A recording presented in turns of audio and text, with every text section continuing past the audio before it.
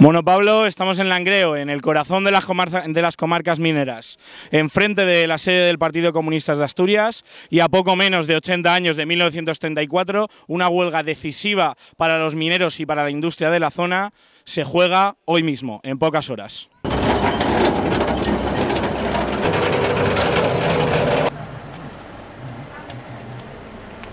Estamos en el Pozo de María Luisa, el famoso Pozo de María Luisa, y no se puede pasar, hay vagones ardiendo, porque hoy hay huelga general. La mina arde porque el carbón se muere.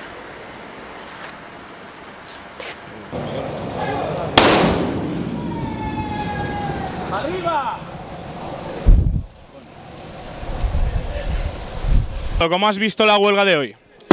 Pues he visto una huelga en la que los piquetes no se hacían el mismo día de la huelga, sino que los piquetes ya venían hechos en base al trabajo diario y en base a la identidad que genera eh, la lucha minera en estos pueblos que dependen todos directa o indirectamente de la minería. Ha sido una huelga intensa, ha sido un rotundo éxito.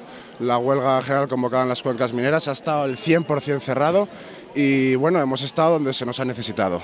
He visto cómo estar delante de, una fábrica o estar delante de un pozo eh, era simplemente una performance, porque no había realmente que hacer nada porque ya estaba hecho antes. Los comercios no abrieron, todo el mundo expresó su solidaridad con la lucha de los mineros porque saben que es la suya.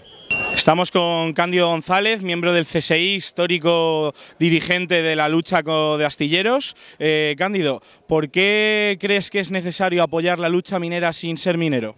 Hombre, es una cuestión vital. Yo creo que entre, trabajadores debemos de apoyar todos los conflictos en estos momentos. Lo de la minería es lo más duro que tenemos en Asturias porque es la desaparición de la minería y aunque los sindicatos mayoritarios hay que decir que firmaron el cierre de la minería en el año 2018, nosotros pensamos eh, sindicalmente que no se puede quitar un sector como la minería y menos aún sin saber cómo, cómo va a quedar todo el, el tema energético. Bueno, pero yo creo que todos los sectores de la clase trabajadora, los parados, los en este momento tenemos que estar con, los mineros que son la punta de lanza y la vanguardia de la clase trabajadora en este momento. En Asturias ya no queda casi nada, cerraron los astilleros, cerraron las principales industrias y ahora si cierran la minería, pues en Asturias lo único que queda es la inmigración a los jóvenes. ¿no? Y es algo muy muy grande entre los trabajadores que exista solidaridad. Yo creo que es la forma de ganar las batallas y no podemos renunciar a ello.